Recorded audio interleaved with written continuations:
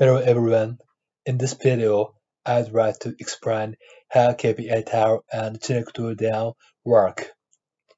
And in this video, I will use the standard view application overview purchase order item. This is the KPI tile including the number 40. This is the KPI, which means there are 40 overdue PO items. Now I would like to know more about this number, so I need to launch this application.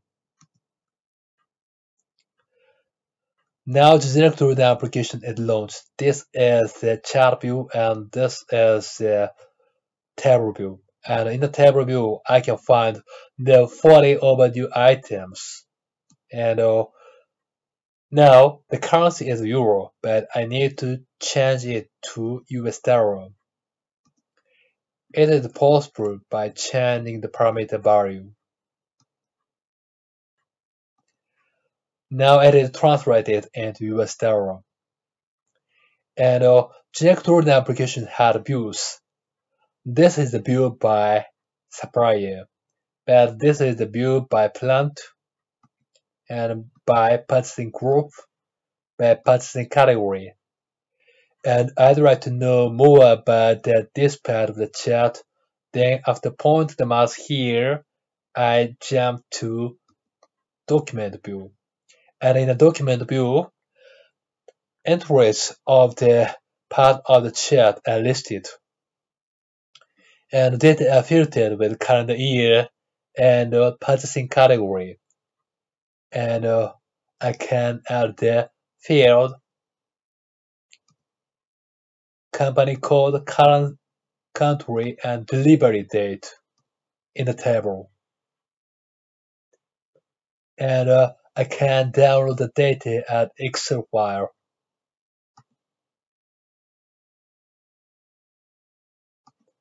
And now I'm moving back to the original view by supplier, but data is still not filtered. So I remove them by posting this icon. So all data are displayed. And now I drill down with calendar month. Then the data is displayed by month. By drilling up, month is removed again. And now I put it and jump to purchasing category. Then the new Fiori application, Manage Purchasing Category, is launched.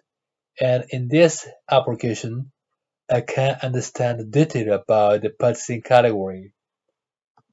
I now move back to the original Fiori application. And now, I would like to display the data by delivering date. For doing that, firstly, I need to remove vendor and calendar year and then I need to add delivery date. Now the data is displayed by delivery date. I can zoom in and zoom out. And it is possible to expand and close and I can also change the chart type. Now I'm changing the chart to line chart. And uh, Generic Drilldown application has some mini tiles. First tile is about the threshold. By clicking it, you can find detail about the threshold. Other tiles are the KPI tiles included in the same KPI group, and in each KPI tiles, normally the generic drilldown application is included. So by clicking it, new generic drilldown application is launched.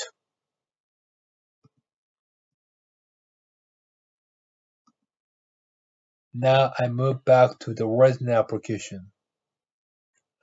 That's all. Thank you for watching.